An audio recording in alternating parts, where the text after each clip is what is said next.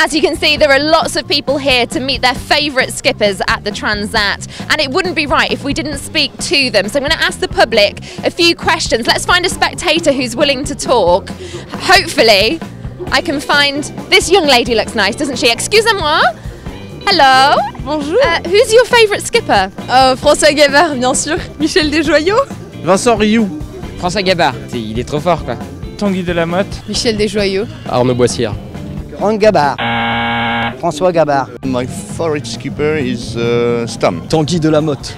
He work for a good association.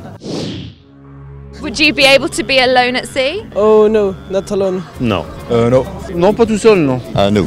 Oh no. Sometimes they, they sail their boat alone for two or three months. I say, how can be survived? It's too long to be alone. Skippers are very uh, special people because uh, they are very strong. Must be very tough. Must be very tough.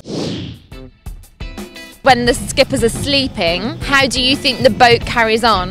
They sleep? Par satellite I don't know. I don't know. Uh, I don't know. I don't know. Uh, Par euh, satellite ordinateur. with uh, electronics. Uh, electric pilot?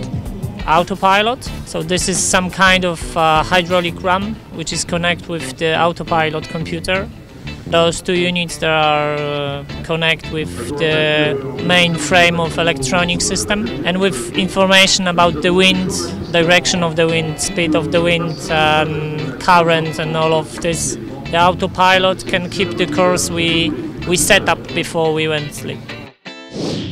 One thing is for sure from all the people that we have spoken to, there's still a lot to learn about offshore sailing. But one thing that they do have in common is they are cheering on those skippers every inch of the way. They're inspirations to all of us.